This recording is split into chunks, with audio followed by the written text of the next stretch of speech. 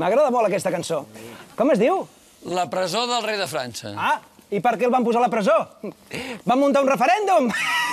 No, perquè volia envair Espanya. Ah, aleshores també s'ho mereixia. Escolteu, vosaltres toqueu moltes cançons així, sense lletra, oi? Sí, sí, sí. Doncs podríeu tocar l'himne d'Espanya. Ah, vale.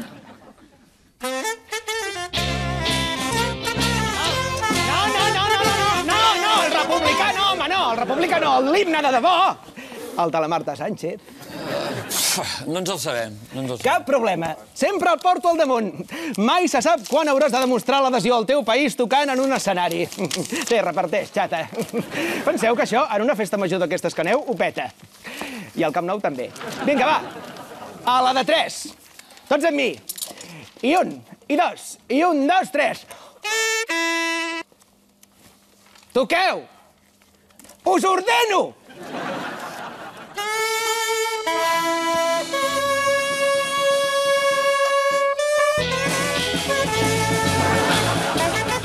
No! No! Com trobaria a faltar el 155?